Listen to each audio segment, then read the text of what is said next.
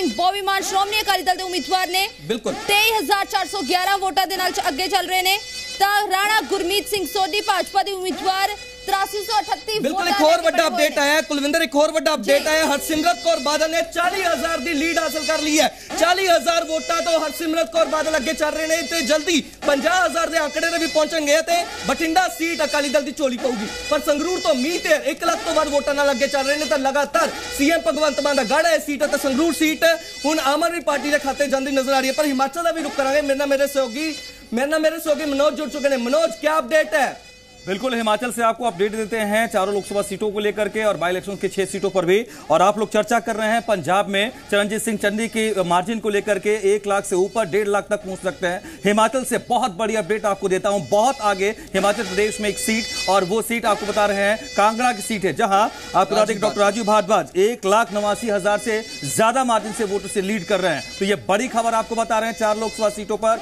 कांगड़ा की सीट पर बीजेपी के उम्मीदवार एक लाख नवासी हज़ार चार सौ अठहत्तर वोट का से लीड पर है। इसके अलावा आपको बता रहे हैं हमीरपुर सीट पर जहाँ अनुराग ठाकुर है सत, इसके बाद सतपाल राय रायजादा है। हमीरपुर में बीजेपी कैंडिडेट अनुराग ठाकुर एक लाख अठारह हज़ार दो सौ इक्यासी वोट के साथ आगे चल रहे हैं। इसके अलावा मंडी और शिमला की सीट पर बहुत कड़ी फाइट हो गई है खास करके मंडी क्योंकि यहाँ यहाँ उनचास हज़ार पाँच सौ निन्यानवे के, लीड के साथ में बीजेपी की कंगना आगे चल रही हैं लेकिन सुरेश कश्यप जो कि हैं शिमला सीट पर बीजेपी से वो साठ हज़ार एक सौ चार वोट के साथ आगे चल रहे हैं। ये चार लोकसभा सीट का बाइपोल ट्रेंड समझना चाहूँगा बाइपोल का समझना चाहूँगा क्योंकि सरकार चेंजर है बाइपोल इलेक्शन सरकार चेंजर इलेक्शन है। बाइपोल का क्या अपडेट है? बिल्कुल बाईपोल पर आपको अपडेट दे देते हैं। बाईपोल को लेकर के लगातार ये बात कही जा रही थी कि शायद वहाँ बीजेपी ने अपने जो कांग्रेस वाले कैंडिडेट चन्नी साहब।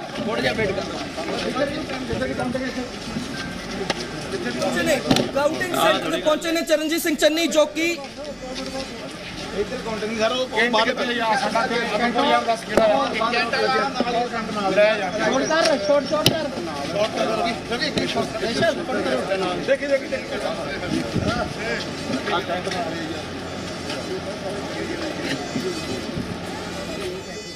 ਬਿਲਕੁਲ ਚਰਨਜੀਤ ਸਿੰਘ ਚੰਨੀ ਦੀਆਂ ਤਸਵੀਰਾਂ ਤੁਸੀਂ ਦੇਖ ਸਕਦੇ ਹੋ। ਜੀ, ਪੰਜਾਬ, ਹਰਿਆਣਾ, ਹਿਮਾਚਲ ਤੇ ਐਕਸਕਲੂਸਿਵ ਤਸਵੀਰਾਂ ਟੌਪ ਰਨਰ ਅਪ ਪੰਜਾਬ ਦੀਆਂ 13 ਲੋਕ ਸਭਾ ਸੀਟਾਂ ਤੇ ਸਭ ਤੋਂ ਅੱਗੇ ਚੱਲ ਰਹੇ ਨੇ ਸਾਬਕਾ ਮੁੱਖ ਮੰਤਰੀ ਚਰਨਜੀਤ ਸਿੰਘ ਚੰਨੀ। ਜਲੰਧਰ ਸੀਟ ਤੋਂ ਹਾਈ ਪ੍ਰੋਫਾਈਲ ਸੀਟ ਹੈ।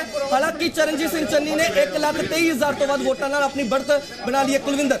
ਤਾਂ ਬਿਲਕੁਲ ਚਰਨਜੀਤ ਸਿੰਘ ਚੰਨੀ ਨੂੰ ਲੈ ਕੇ ਅਸੀਂ ਤਾਜ਼ਾ ਅਪਡੇਟ ਦੇ ਰਹੇ ਹਾਂ। ਚਰਨਜੀਤ ਸਿੰਘ ਚੰਨੀ ਇੱਥੇ ਪਹੁੰਚੇ ਨੇ। ਹਾਲਾਂਕਿ ਉਹਨਾਂ ਦੇ ਚੋਣ ਵਾਲੇ ਵੀ ਉਹਨਾਂ ਦੇ ਨਾਲ ਮੌਜੂਦ ਨੇ। ਕਿੱਥੇ ਆ? ਨਾਲ ਆ?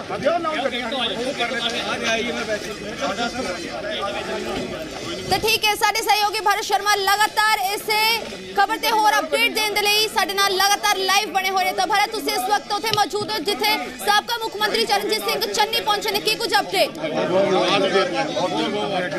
ਆ ਬਿਲਕੁਲ ਕੁਲਵਿੰਦਰ ਤੁਹਾਨੂੰ ਦੱਸਦੀ ਕਿ ਚਰਨਜੀਤ ਸਿੰਘ ਚੰਨੀ ਜੋ ਕਿ ਕਹਿ ਸਕਦਾ ਕਿ ਲੁਧਿਆਣਾ ਤੋਂ ਜਲਦੀ ਜਿਹੜਾ ਸਾਂਸਦ ਉਹਨੂੰ ਐਲਾਨਿਆ ਜਾਵੇਗਾ ਤੇ ਹੁਣ ਉਹ ਲੱਖ 24000 ਵੋਟਾਂ ਜਿਹੜੀ ਆ ਉਹ ਲੀਡ ਤੇ ਚੱਲ ਰਹੇ ਨੇ। ਦੂਜੇ ਨੰਬਰ ਜੂਰ ਬੀਜੇਪੀ ਦੇ ਉਮੀਦਵਾਰ ਸੁਸ਼ੀਲ ਕੁਮਾਰ ਰਿੰਕੂ ਤੁਰਨ ਫਿਲਹਾਲ ਤੁਸੀਂ ਦੇਖ ਸਕਦੇ ਹੋ ਕਿ ਸਮਰਥਕ ਜਿਹੜੇ ਆ ਉਹਨਾਂ ਦੇ ਨਾਲ ਘੁੰਮ ਰਹੇ ਨੇ ਤੇ ਪੂਰੇ ਜਿਹੜੇ ਆ ਕਾਂਗਰਸ ਦੇ ਜਿਹੜੇ ਉਹਨਾਂ ਵੱਲੋਂ ਨਾਰੇ ਲਗਾਏ ਜਾਂਦੇ। ਕਹਿ ਸਕਦੇ ਆ ਕਿ ਇੱਕ ਵੱਡੀ ਜਿਹੜੀ ਲੀਡ ਲੀਡ ਦੇ ਜਿੱਤ ਦੇ ਵੱਧ ਜਿਹੜਾ ਵਧਦੇ ਨੇ ਸਾਬਕਾ ਮੁੱਖ ਮੰਤਰੀ ਚਰਨਜੀਤ ਸਿੰਘ ਚੰਨੀ ਜੀ। ਬਿਲਕੁਲ ਕੁਲਵਿੰਦਰ ਇੱਕ ਤਸਵੀਰਾਂ ਆਪ ਮੁਹਾਰੇ ਬਿਆਨ ਕਰ ਰਹੀਆਂ ਨੇ। ਚਰਨਜੀਤ ਸਿੰਘ ਚੰਨੀ ਦੇ ਚਿਹਰੇ ਤੇ ਰੌਣਕ ਬਿਆਨ ਕਰ ਰਹੀਆਂ ਨੇ ਕਿ ਹੁਣ ਐਮਪੀ ਬਣਨ ਜਾ ਰਹੇ ਨੇ। ਬਿਲਕੁਲ ਕੁਲਵਿੰਦਰ ਤਸਵੀਰਾਂ ਤੁਸੀਂ ਦੇਖ ਸਕਦੇ ਹੋ ਕਿਸ ਤਰੀਕੇ ਨਾਲ ਚਰਨਜੀਤ ਸਿੰਘ ਚੰਨੀ ਨਾਲ ਉਹਨਾਂ ਦੇ ਸਮਰਥਕਾਂ ਦਾ ਇਕੱਠ ਨਜ਼ਰ ਆ ਰਿਹਾ ਹੈ। ਬਿਲਕੁਲ। ਤੇ ਸਿੱਧੀਆਂ ਤਸਵੀਰਾਂ ਸੀ ਪੰਜਾਬ ਹਰਿਆਣਾ ਹਿਮਾਚਲ ਤੇ ਤੁਸੀਂ ਵੇਖ ਸਕਦੇ ਹੋ ਸਾਬਕਾ ਮੁੱਖ ਮੰਤਰੀ ਚਰਨਜੀਤ ਚੰਨੀ ਇੱਥੇ ਪਹੁੰਚੇ ਨੇ। ਹਾਲਾਂਕਿ ਬਹੁਤ ਵੱਡੀ ਲੀਡ ਉਹਨਾਂ ਨੇ ਬਰਕਰਾਰ ਕੀਤੀ ਹੋਈ ਹੈ ਤਾਂ ਇਹ ਤਸਵੀਰ ਆਪਣੇ ਆਪ ਦੇ ਵਿੱਚ ਸਾਫ਼ ਨਜ਼ਰ ਆ ਰਹੀ ਹੈ। ਅ, ਆਸ਼ੀਸ਼ ਇਹ ਉਹ ਅੰਕੜਾ ਹੈ ਮੇਰੇ ਖਿਆਲ ਦੇ ਵਿੱਚ ਇਹ ਅੰਕੜਾ ਪਾਰ ਹੋ ਹੀ ਨਹੀਂ ਸਕਦਾ। ਇਸ ਸੀਟ ਤੇ ਮੋਹਰ ਚਰਨਜੀਤ ਸਿੰਘ ਚੰਨੀ ਦੇ ਨਾਮ ਦੀ ਲੱਗ ਚੁੱਕੀ ਹੈ। ਬਿਲਕੁਲ ਜਲੰਧਰ ਹਾਈ ਪ੍ਰੋਫਾਈਲ ਸੀਟ ਹੈ। ਇਹ ਸੀਟ ਦਾ ਮੈਂ ਜੇਕਰ ਜ਼ਿਕਰ ਕਰਾਂ ਤਾਂ ਇੱਥੇ ਤਿੰਨ ਕੈਂਡੀਡੇਟ ਅਜਿਹੇ ਸੀ ਜੋ ਪਾਰਟੀ ਅਦਲਾ ਬਦਲੀ ਕੀਤੀ ਉਹਨਾਂ ਨੇ। ਅਤੇ ਜੇਕਰ ਜ਼ਿਕਰ ਕੀਤਾ ਜਾਵੇ ਮਹਿੰਦਰ ਕੇਪੀ ਦਾ ਕਾਂਗਰਸ ਤੋਂ ਅਕਾਲੀ ਦਲ ਸ਼ਿਫਟ ਹੋਏ। ਅਕਾਲੀ ਦਲ ਵਾਲੇ ਜੇਕਰ ਜ਼ਿਕਰ ਕਰਾਂ ਪਵਨ ਕੁਮਾਰ ਟੀਨੂ ਆਮ ਆਦਮੀ ਪਾਰਟੀ ਸ਼ਿਫਟ ਹੋਏ। ਅਤੇ ਆਮ ਆਦਮੀ ਪਾਰਟੀ ਵਾਲੇ ਸੁਸ਼ੀਲ ਕੁਮਾਰ ਰਿੰਕੂ ਦਾ ਜੇਕਰ ਮੈਂ ਜ਼ਿਕਰ ਕਰਾਂ ਉਹ ਬੀਜੇਪੀ ਸ਼ਿਫਟ ਹੋਏ। ਪਰ ਚਰਨਜੀਤ ਸਿੰਘ ਚੰਨੀ ਨੇ ਆਪਣੀ ਤਾਲ ਠੋਕੀ ਅਤੇ ਹੁਣ 1,25,293 ਵੋਟਾਂ ਨਾਲ ਅੱਗੇ ਚੱਲ ਰਹੇ ਨੇ। ਅਤੇ ਹੁਣ ਜਲੰਧਰ ਸੀਟ ਤੇ ਜਿੱਤ ਦਰਜ ਕਰਦੇ ਵੀ ਨਜ਼ਰ ਆ ਰਹੇ